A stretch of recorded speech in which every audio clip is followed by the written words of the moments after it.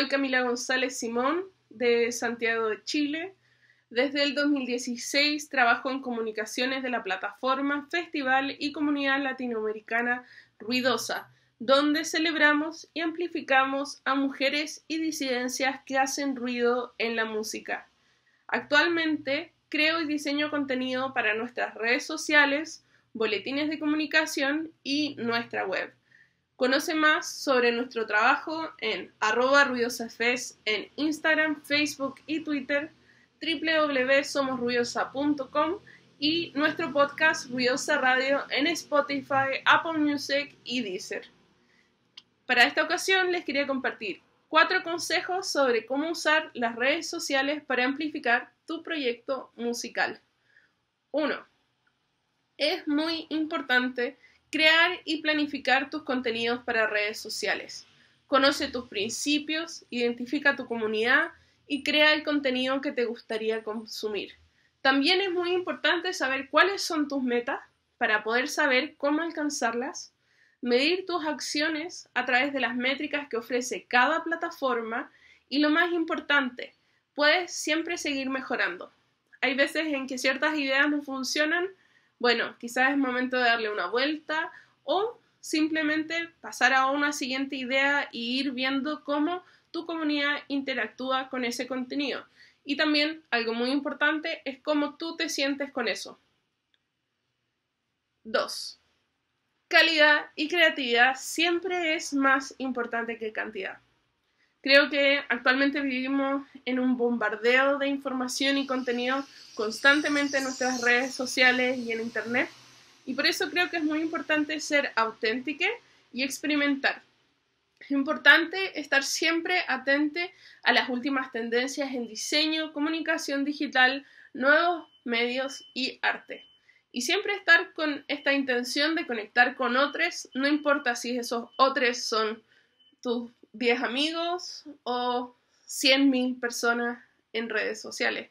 Ahí creo que siempre es importante, como decía antes, ser consistente, estar atente y ser auténtica. Número 3. Utiliza todas las herramientas que tengas a mano. No importa si es un celular viejo o solo tu computador, si no sabes cómo hacer algo, pregunta o colabora con otros para poder lograr siempre es bueno eh, utilizar todas las herramientas que tengamos a mano para crear el mejor contenido posible. Y número cuatro, y la razón por la cual más me gusta Internet, es que puedes generar redes y participar de distintas comunidades digitales. Lo mejor de Internet es que puedes conectar con otras músicas, personas, plataformas y comunidades, especialmente en estos momentos de pandemia y de distanciamiento físico, creo que también es muy importante buscar comunidades específicas, así como Ruidosa, así como La Matria, así como Girl Power o las, el Rock de las Pibas. Fondos son distintas em, plataformas y comunidades donde hay otras personas que tienen los mismos principios o ideales que tú. Y creo que en estos tiempos es una buena oportunidad para conectar, conocer y ver cómo se están desarrollando otros proyectos musicales. Creo que también, em, especialmente sobre estas cosas, si es que estás recién empezando, es bueno ver qué tipo de contenidos te gusta consumir de otros proyectos musicales y ver cuáles te hacen sentido a ti o cómo le puedes dar una vuelta para que sea auténtico, consistente, creativo y puedas conectar con esa gente que está ahí. Así que eso, Muchas gracias a la invitación, a todos que están escuchando. Si quieren saber más, también, como les decía, pueden entrar a Ruidosa Fest o seguirme a mí en redes sociales en arroba Simón dijo. Nos vemos.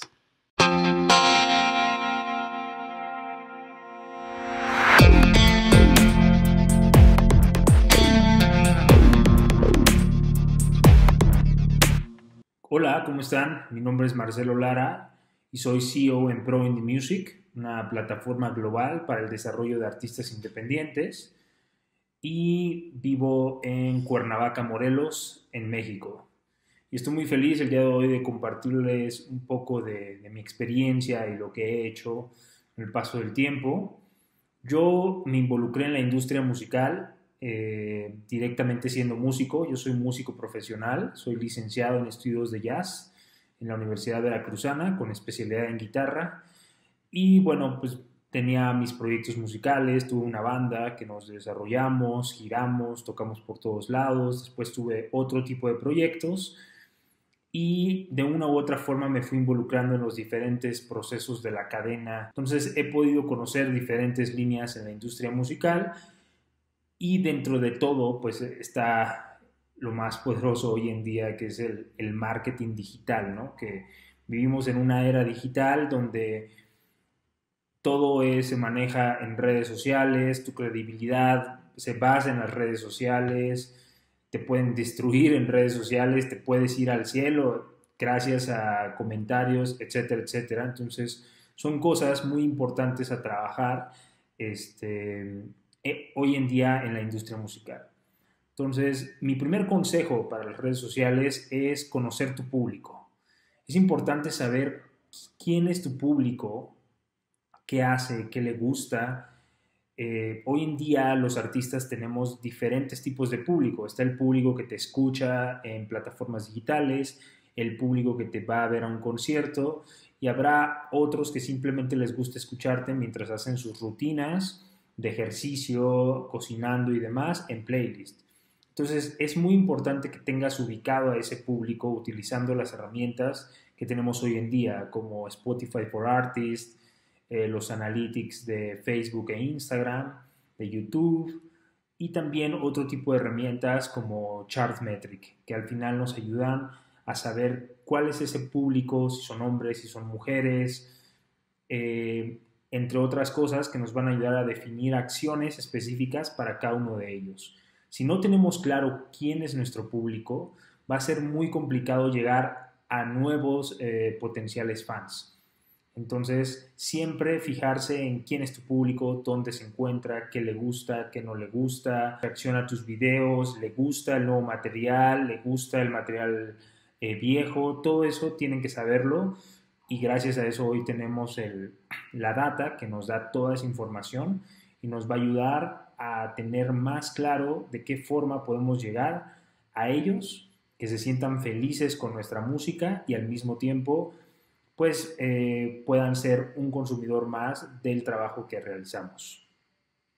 En segundo lugar, es importante enfocarse en el contenido. Hoy en día tenemos infinidad de tipos de contenido, infinidad de aplicaciones y es muy importante cuidar hacerlo de calidad. ¿Qué es hacerlo de calidad? Bueno, procurar que sea algo muy bien hecho, que vaya de acuerdo a tus valores como banda, que vaya de acuerdo a los colores de la música que, que, tú estás haciendo, que todo vaya en sincronía con las cosas, o sea, no puedes hacer algo rojo si tú eres azul, o sea, es importante que, tenga una similitud y al mismo tiempo es importante hacer este tipo de contenidos para todas las redes sociales. Cada red social tiene un tipo de contenido, pero por ejemplo, ustedes deben de saber si a sus fans les gustan los videos, eh, si le gustan las fotos, eh, si van a hacerse en caricatura, ¿no? Este, si van a hacerse en caricatura, etcétera, etcétera. Todo ese tipo de cosas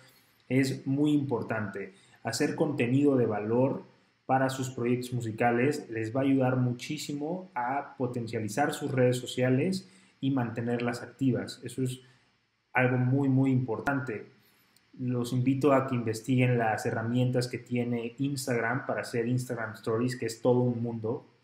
Pueden encontrar una variedad de cosas, pueden hacer una cantidad de publicaciones impresionantes únicamente utilizando esa herramienta. Además hay otras como hay una aplicación que se llama Mojo, donde ustedes pueden hacer historias muy interesantes, muy rápidas y sobre todo hay que tener frecuencia, nunca dejar de publicar. Siempre no les estoy diciendo que si no son esas personas que les gusta publicar diario lo hagan, pero sí que tengan una frecuencia y que vaya de acuerdo a un plan de trabajo. Siempre, recuerdo, siempre recomiendo hacer planes a 6, 12 y 24 meses y si nunca han hecho un plan, yo les recomendaría que hicieran un plan a una semana, después lo hagan a un mes y una vez que pudieron agendar esas actividades que iban a hacer para redes sociales, para cualquier cosa de su proyecto, va a ser mucho más sencillo hacer un plan a largo plazo. En tercer punto, la promoción de sus lanzamientos. Recuerden que los lanzamientos se dividen en, diversas etapas. La primera etapa es el pre-lanzamiento, el posicionamiento, perdón, el pre-lanzamiento, el lanzamiento y el posicionamiento.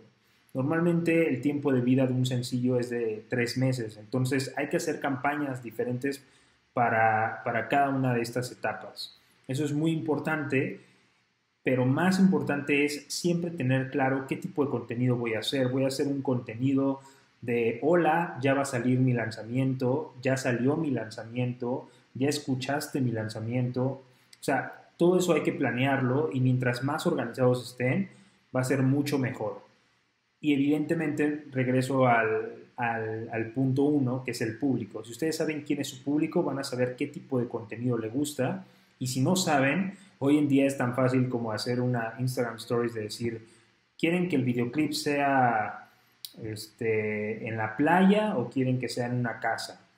Y entonces eso va a hacer que cuando salga y si ustedes le hicieron caso a sus fans, van a decir, órale, me hizo caso, yo quiero eh, quiero ver el video y demás. Es muy, muy importante estas tres etapas, tenerlas en tus lanzamientos y tratar de hacer lanzamientos continuos. Lo que las plataformas recomiendan es que haya entre cuatro y seis semanas entre cada uno de estos lanzamientos para que mantengas activo el algoritmo, que eso es otra cosa, no vamos a hablar el día de hoy, pero es muy importante hacer eso. Eh, por otro lado, eh, mi siguiente recomendación es trabajar en su posicionamiento digital. No solo se enfoquen en Instagram, no solo se enfoquen en YouTube o en Facebook, hay que enfocarse en todas porque al final necesitamos tener un balance. Y también ustedes pueden crear algo que es el, el User Journey, que es, o que me van a descubrir en Instagram por un anuncio que voy a hacer en Instagram y entonces va a ir a escuchar esta canción, le va a gustar, le va a dar me gusta en Spotify y entonces le va a gustar tanto mi contenido que también me va a seguir en Instagram y después le voy a aparecer en Facebook porque Instagram y Facebook están conectados. Entonces, ese tipo de acciones les van a permitir llegar a su público en las diferentes líneas e ir manteniendo todas en un balance. Eh, eso, eso es algo súper importante y nunca descuidar sus redes sociales, siempre mantenerlas activas, eh, bonitas, con buenos contenidos. El Spotify for Artists es igual como un Instagram, hay que actualizar el Artist Peak, que es como estas noticias relevantes de tu canal, actualizar la foto de portada, la foto de perfil, son cosas muy importantes. También tengan muy claro cuáles son el público similar a ustedes. Si ustedes tienen claro que cierto artista y cierto artista pueden ser, eh, su público puede ser potenciales público para ustedes, sería muy importante que analicen qué están haciendo ellos que no están haciendo ustedes. Qué, o sea, qué tipo de acciones están haciendo en redes sociales que les funcionan, que ustedes las podrían ocupar para mejorar su posicionamiento en cualquiera de estas plataformas. También tenemos TikTok, que la gente cree que es baile y comedia, pero no, hay una cantidad de recursos musicales que pueden utilizar sin pagar este, a un influencer o algo así. Simplemente ustedes subirlo y hacer interacciones con sus fans en TikTok y demás. Y si creen que es demasiado complejo, pueden quedarse con Instagram, porque en Instagram también tenemos el Instagram Reels. Entonces es importante que conozcan todas estas líneas y siempre investigar qué hay de nuevo, qué, cuál es la tendencia hoy, cuál es la tendencia mañana y todo eso está en Internet. Les recomiendo que lo busquen, que todo el tiempo estén buscando cosas en Internet, en YouTube y todo eso les va a ayudar a su carrera para que tengan un mejor posicionamiento digital y tengan un crecimiento más orgánico. Espero que esto les haya servido. Saludos.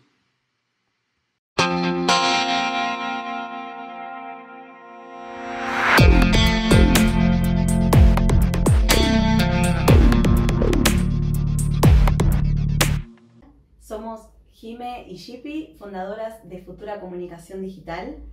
Trabajamos hace muchos años juntas en distintos proyectos de comunicación digital, tanto de cine como de televisión y sobre todo en el mundo de la música. Muchas gracias por invitarnos a este evento. Vamos a contarles cómo entendemos nosotras el ecosistema digital, cómo entendemos las estrategias de comunicación digital. No creemos que haya cinco tips para triunfar en redes sociales, pero sí creemos en una metodología de trabajo que es la que vamos a compartir hoy con ustedes.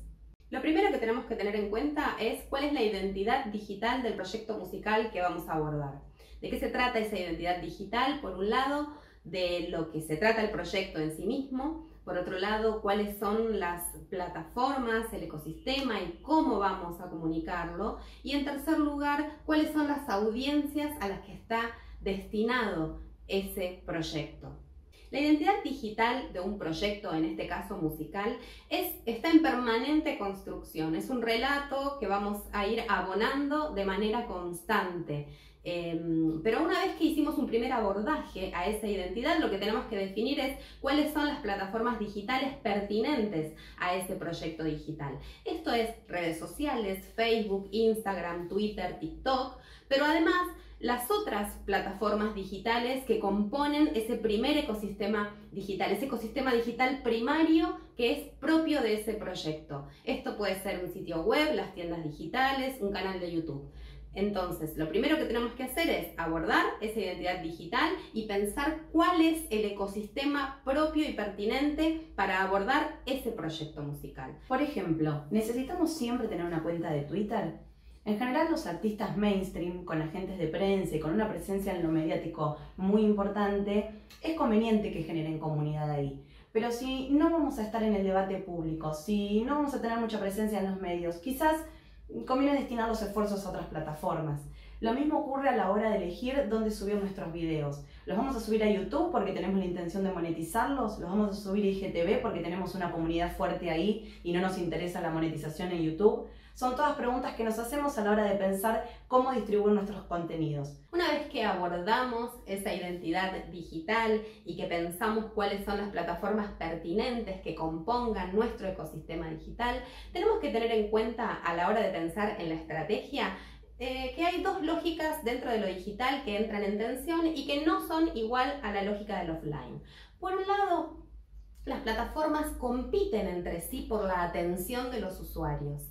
Eh, los contenidos en ese punto van a tener que ser atractivos y adecuarse a determinadas características de esas plataformas para poder llegar a mayor cantidad de usuarios. Pero por otro lado, las plataformas tienen una lógica colaborativa. Esto quiere decir que un contenido debe ser bien vinculado con otras plataformas para que pueda tener mayor alcance. Otra cosa muy importante a tener en cuenta es cómo es la recepción de esos contenidos digitales.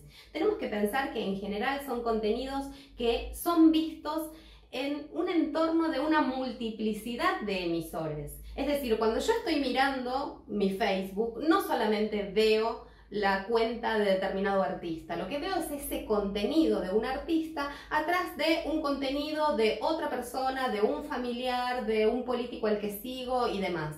Ese contenido entonces es recibido en una multiplicidad de mm, emisores que hacen que mi lectura sea muchísimo más fragmentaria. Pero además, en general, esos contenidos son consumidos de manera móvil y en dispositivos pequeños. Todas estas cosas van a determinar acerca de cómo vamos a producir y en qué estrategia vamos a insertar esas publicaciones. ¿Cuántas veces escuchamos el famoso tengo muy pocos seguidores? Quiero tener más me gusta. ¿Cómo hago para tener muchos, muchos me gusta? No te preocupes por los seguidores, Jimena. Tenemos que pensar que hay tres elementos muy importantes en las redes sociales. El primero es la cantidad de personas que nos siguen, cómo se compone la cantidad de personas que componen nuestra comunidad. El segundo es la cantidad de personas que interactúan con nuestros contenidos, aquellas personas a las cuales les interesa nuestro contenido y ejercen alguna acción, ponen un me gusta, un like, comparten o comentan el contenido. Y en tercer lugar es el alcance. El alcance es aquellas personas que en algún momento ven algunos de, estos, de nuestros contenidos. El alcance es el resultado no de la cantidad de seguidores que tengas en las plataformas, el alcance es el resultado de la interacción. Por lo tanto, es muy importante pensar en la lógica de la interacción. ¿Qué queremos que hagan nuestros seguidores en nuestros contenidos? Ahí tiene que estar puesta la atención. Eh, la cantidad de seguidores de una cuenta es el resultado último del trabajo que hicimos para interactuar con nuestros seguidores. Las redes sociales son dialógicas. Esto es que hay una comunidad que participa y le interesa participar y ser escuchada. En ese sentido es que a la hora de comunicar nuestro proyecto musical no podemos pensarlo como una mera instancia de difusión, sino que tenemos que pensarlo como una instancia de comunicación dialógica en donde el otro tiene que tener espacio para poder decir, decir algo. Nuestra comunidad tiene que tener espacio para poder expresarse. Toda estrategia de comunicación digital tiene dos instancias, la de la publicidad, de los anuncios pagos en redes sociales y lo que llamamos el trabajo orgánico. ¿Qué tenemos en consideración cuando pensamos la estrategia orgánica en las redes de un artista? Primero, por supuesto, pensamos en cuál es su agenda. Hay shows, hay lanzamientos de discos, hay lanzamientos de singles, hay una agenda de prensa. ¿Qué tiene para contar el artista en un periodo determinado de tiempo? Solemos trabajar en corto, mediano y largo plazo y eso nos permite no solo ordenar la agenda de actividades, sino también poder pensar con anticipación con qué contenidos vamos a contar cada una de esas acciones. Y aquí hay un tema que es muy importante. Eh, es clave, es central poder pensar la estrategia de comunicación digital como parte nodal de cualquier proyecto de un artista. No nos sirve tener un disco y después ver cómo lo vamos a contar. Tenemos que estar en las grabaciones, tenemos que hacer videos, tenemos que hacer fotos pensadas para las redes sociales de ese artista. Cuando pensamos qué quiere comunicar un artista, tenemos en consideración su agenda, sus actividades, pero también qué quiere decir de sí mismo. Y ahí es muy importante poder pensar contenidos que sean exclusivos para redes. Otra característica importantísima de lo que es el territorio digital es la instantaneidad. Es muy importante tener en cuenta algunos contenidos que estén vinculados con lo instantáneo. ¿Esto qué quiere decir? Que tiendan al tiempo real. Pueden ser vivos, pueden ser imágenes y contenidos en stories, pero todo lo que esté vinculado a lo, instantáneo tiene una característica de algo genuino y eso es muy valorado en redes sociales. ¿Por qué es importante pautar, hacer campañas de anuncios en redes sociales? Lo primero tiene que ver con esa característica que mencionamos acerca de la atención. Eh, las plataformas digitales y sobre todo Facebook e Instagram privilegian mucho los contenidos orgánicos de los perfiles en detrimento de los contenidos de las páginas. Eh, ahí se hace necesario generar eh, anuncios para poder competir con esos contenidos orgánicos. Pero además lo que nos permite eh, hacer campañas de anuncios es llegar a audiencias que no son las propias, que no son las naturales y que no son las audiencias con las que nos vamos a vincular a partir de nuestro trabajo orgánico. Entonces, en ese sentido, la pauta digital en paralelo con el trabajo orgánico y, y en consonancia con el trabajo orgánico se torna fundamental. Entonces es muy importante delinear nuestra identidad digital, definir un ecosistema de plataformas, desarrollar una estrategia de contenidos, contemplar contenidos en vivo, construir comunidad y trabajar la interacción, elaborar contenidos exclusivos para redes, definir qué tipos de publicaciones van en qué tipos de plataformas y cómo se vinculan entre ellas, y es muy importante trabajar una estrategia de anuncios pagos en redes sociales. Eso sí, solo van a funcionar si están en línea con una estrategia de trabajo orgánico. Ojalá los hayamos podido ayudar a pensar de otra manera la comunicación digital de sus proyectos.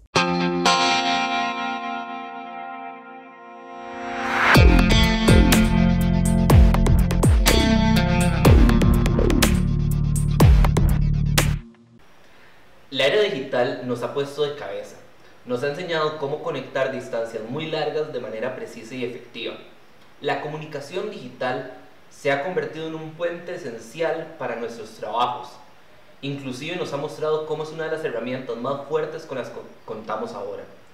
Mi nombre es Diego Navarro y soy el director general de Cream Agency en Costa Rica, donde me desarrollo como productor creativo de eventos y manager de artistas en la industria musical y del entretenimiento desde hace más de 12 años.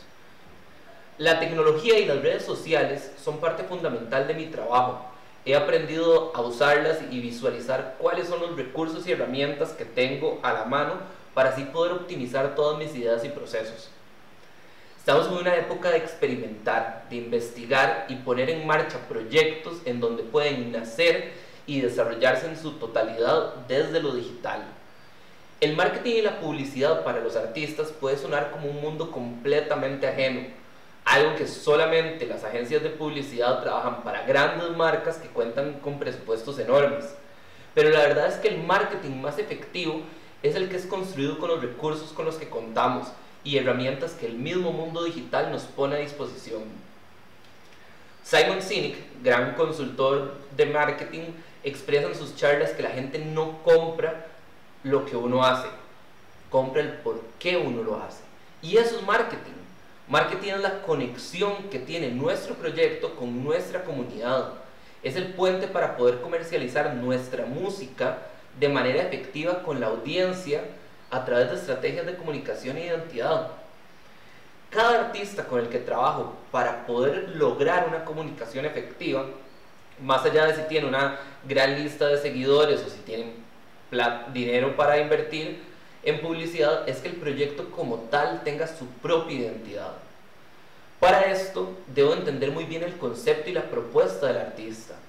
Como parte del equipo, siempre hay un periodo de tiempo donde más allá de desarrollar o ejecutar cosas, lo que hago es conocer bien al artista, escuchar su música, escucharlos o escucharlas hablar, saber cómo piensan, cuál dirección quieren darle al proyecto. Tenemos que definir concepto, para luego poder definir también la audiencia. Tienen que saber a quién le están hablando, quién nos está escuchando, qué rango de edad tienen, qué gustos tienen, qué hobbies tienen. Hay que identificar muy bien esa audiencia. Si definen su concepto de audiencia, van a poder encontrar el tono de sus mensajes. Recuerden, al final cada artista y cada proyecto musical tiene su propio espíritu. No somos una maquinaria prefabricada tenemos nuestra propia esencia. Por ende, vamos a tener nuestro propio tono y estrategia en la comunicación. No hay una fórmula mágica ni una ABC. Lo que hay son parámetros que nos pueden guiar para saber por dónde empezar. Pero al final tenemos que experimentar y, comprar y comprobar resultados. Hay una frase que me encanta decir que es que todo lo que es medible siempre se puede mejorar. Entonces, si documentamos todo lo que hacemos, en el siguiente lo podemos perfeccionar. Permitámonos experimentar, probar, equivocarnos y luego paso a paso irlo mejorando. Teniendo estas pautas claras, podemos empezar a trabajar la estrategia digital, que es ese plan de acción concreto en cómo voy a trabajar la comunicación y las redes sociales del artista. Luego de desarrollar por años estrategias digitales para artistas, les comparto esta serie de consejos que espero que les funcionen en sus estrategias digitales. La primera es que todo lo que hagamos, compartamos o digamos en redes es para conectar con nuestra audiencia. Lo más importante es entender que las redes son un espacio de diálogo entre nosotros como creadores musicales y las personas que han conectado con nuestro contenido. Al ser un espacio de diálogo, debemos de crear un espacio en donde nuestro público se sienta cómodo interactuando con nosotros, donde se sientan bien de hacer preguntas, que puedan compartir el contenido que posteamos, que al final le hablen a sus amigos también de nuestras redes, que se sientan parte de casa. Luego, experimenten, no dejen de probar ideas nuevas, hay que ser novedosos con el contenido que vamos a crear. Luego la constancia apremia. Debemos de ser constantes con nuestro contenido. Hay que postear regularmente. Eso va a lograr que esta conexión de la que hablamos se logre. Tal vez no tenemos un parámetro fijo de hay que postear diario, semanal, mensual. Pruébenlo y cuando encuentren esa frecuencia, mantengan esa constancia. También mantengan un hilo conductor estético editorial en todas sus plataformas que no importa si los ven en Instagram, en Facebook, en YouTube, en cualquier plataforma en la que estén, que la audiencia siempre sienta que está en el mismo lugar, en el espacio del artista. También tenemos que estar en todas las plataformas y que nuestro tag o username sea el mismo en todas. Si queremos que nos conozcan, debemos facilitarles a nuestro público el cómo encontrarnos. Y también cuando nos preguntan en entrevistas acerca de cuáles son nuestras redes, es una manera mucho más sencilla y directa de nada más enunciar las plataformas en las que están y decir cuál es ese tag o user con el que ustedes están usando. Luego, cada colaboración que hagan, comuníquenla en sus redes y taguen a los otros artistas. Que luego todos compartan ese mismo contenido. Y el punto más importante, no solo hablemos de nuestra música. Uno no se sienta con un amigo a hablar de quién es uno en toda la conversación. Se necesita tener temas de conversación. Eso es lo que lo hace interesante o entretenido el hablar con amigos. Y exactamente lo mismo en ese espacio de diálogo en, las redes sociales. Tenemos que crear contenido que siga nuestros intereses para que sea parte más de nuestro estilo de vida y no solo el material musical que sacamos. Puede ser, por ejemplo, material en video como un behind the scenes cuando estuvimos haciendo una grabación o estuvimos en un festival o bien en un ensayo. Eh, busquemos qué, qué, otras maneras o qué otros espacios, o, o, tal vez fuimos a cenar como proyecto musical. E, eso es contenido relevante que conecta con nuestra audiencia. Recuerden la frase de Simon Sinek, la gente no compra lo que uno hace, compra el por qué uno lo hace. Entonces, debemos de conectar a través de nuestro estilo de vida e intereses seamos un portal de información que a nosotros mismos nos gustaría leer y ver en redes. Espero que estos consejos les puedan servir para ustedes que puedan desarrollar sus propias estrategias digitales y que también luego cuando contraten a alguien que les dé ese servicio, ya ustedes sepan qué dirección le quieren dar, qué les gusta, qué no, qué probaron y funcionó y qué probaron y qué no funcionó. Empiecen ustedes haciendo, aprendiendo y equivocándose Luego en el proceso solamente será crecimiento. Saludos.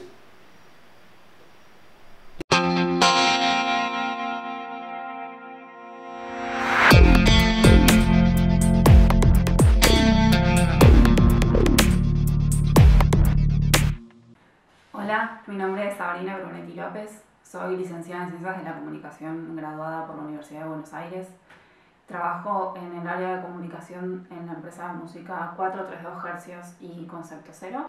Agradecemos en nombre de 432 Hercios y Concepto Cero la posibilidad de participar en este espacio. Parte de lo que queremos compartir hoy con toda la comunidad es el aspecto que atraviesa la gestión de redes sociales y la comunicación para proyectos musicales y algo que venimos trabajando en 432 Hercios y en Concepto Cero y en un proyecto flamante que lanzamos hace poco que se llama Futurex, es en articular en distintos niveles varios aspectos que suelen ser sumamente importantes para la gestión de estos contenidos y que muchas veces eh, no son considerados prioridad para los proyectos musicales. Vamos a mencionar tres aspectos que consideramos que son súper importantes. Uno es el contenido, el otro es el de audiencias y el otro es datos. A lo largo de los proyectos que venimos trabajando en el último tiempo, siempre se puso eh, mucho énfasis en considerar que absolutamente todos los aspectos con los que vamos a trabajar, ya sea un lanzamiento o una comunicación de un proyecto musical, son contenidos, en el sentido en que entendemos que una foto, una campaña, un flyer, un lanzamiento, un single, un video, son considerados insumos con los que vamos a nutrir nuestras redes sociales.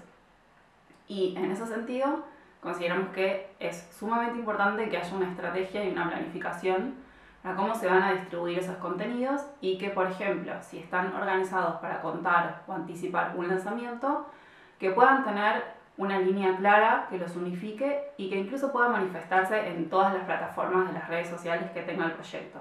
Esto es, por ejemplo, vestir, entre comillas, con eh, una línea estética todas las plataformas, desde actualizar los headers, los banners, las fotos de perfiles, las paletas de colores. Ayuda a contar una historia de una forma que no siempre se considera para los lanzamientos, pero que suele tener un impacto muy positivo en las audiencias. Entonces, En este sentido, consideramos que uno de los ejes más importantes para tener en consideración, y es uno de los ejes que trabajamos en Futurex, nuestro espacio de formación, es el de contenidos. Es poder pensar en cada una de estas instancias, en cada uno de estos insumos, a conciencia y, por supuesto, siempre acorde a las, a las características que tenga el proyecto, a las posibilidades que tenga el proyecto de llevar adelante una estrategia de contenido. Por otra parte, otro de los ejes importantes es el de las audiencias y tiene muchísima relación con el de contenido. Sabemos que ante la hiperabundancia de plataformas de redes sociales hay una tentación de querer ocupar todas las redes, es decir, tener una cuenta en YouTube, un canal oficial en YouTube, tener una fanpage en Facebook, tener actualizado un perfil en Instagram, utilizar las stories de Instagram. Ahora entendemos que TikTok es un, un espacio que muchos proyectos están considerando si corresponde o no corresponde activar. Y sobre todo lo que interesa en este punto, que es algo que trabajamos en 432, es entender hasta qué punto es relevante para el proyecto social ocupar todas las plataformas o lo que eso llamamos de alguna manera es una estrategia expansiva o en su caso, en, el, el caso contrario es realizar una estrategia que tenga que ver con un uso intensivo de las plataformas en las que entendemos que está nuestra audiencia. Esto es, en lugar de acaparar todo el abanico posible de opciones que hay, es elegir según dónde entendemos que está nuestra audiencia dos o tres o cuatro canales y profundizar, es decir, sistematizar el contenido, llevar adelante una grilla, planificar, por ejemplo, establecer que hay determinados contenidos que vamos a fijar en un día de la semana porque entendemos que nuestra audiencia interactúa más con esos contenidos, pensar qué tipo de contenidos nuestra audiencia quiere, si nuestra audiencia, por ejemplo, está conformada por artistas, una buena forma, que es uno de los proyectos con los que trabajamos, que es Dura Tierra, una buena forma de conectar con esas audiencias eh, es ofrecerles partituras, ofrecer espacios de encuentro donde se construyan las canciones, es decir, se analice cómo fue el proceso de composición, el proceso de escritura de la lírica.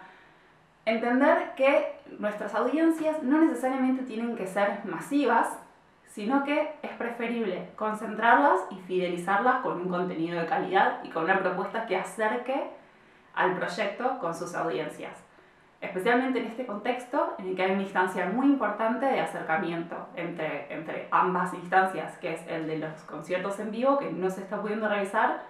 Entonces, pensar de qué forma creativa se puede generar una interacción constante, consistente y sostenida en el tiempo.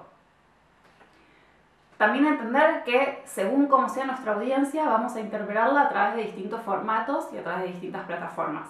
Por ejemplo, si nuestra audiencia eh, es muy de nicho y está por ahí experimentando en términos de plataformas, vamos a interpretarla desde alguna opción que, que genere interés, por ejemplo, TikTok, si estamos hablando de una generación más centennial, si eh, en todo caso nuestra, nuestra audiencia está compuesta, tal vez a partir del género de música que realizamos, está compuesta por personas eh, que tengan un rango de edad que vaya entre los 50 en adelante. Sabemos que ese perfil está mucho más en Facebook y que tiene una forma de interactuar mucho más textual tal vez. Se maneja por ahí a través de eventos de Facebook. A partir de esa herramienta podemos generar espacios de encuentro como Facebook Live.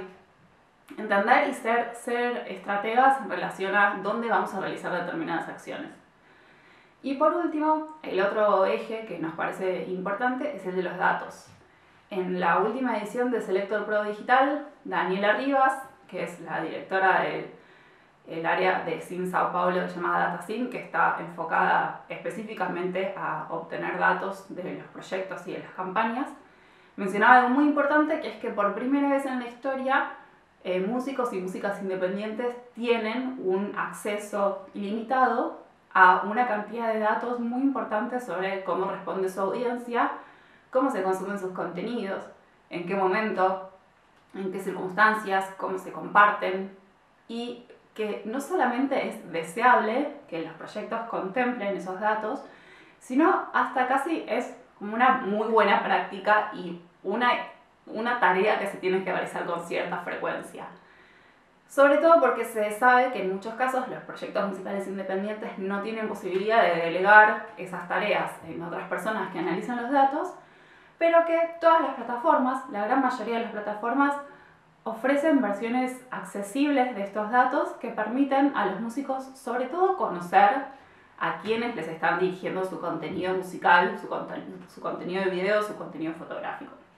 Entonces, más allá de que no necesariamente los datos tienen que ser condicionantes de estrategias de contenido o de comunicación, son siempre un insumo muy importante y que ahora más que nunca consideramos que los proyectos tienen que poder capitalizar y que lo pueden hacer de una forma que está muy al alcance sin necesidad de tener que tercerizar esa tarea. Entonces, estos ejes de contenido, audiencias y datos, nosotros consideramos que son centrales para poder desarrollar una estrategia de redes sociales en este contexto y que entendemos que los proyectos musicales tienen una posibilidad histórica de poder utilizarlos a su favor. Esperamos que les haya servido. Eh, nos encontramos en las redes sociales de 432 Hz y en la de Futurex, que es nuestro espacio de formación, y nos vemos por ahí. Muchas gracias, Elinamo, por la invitación.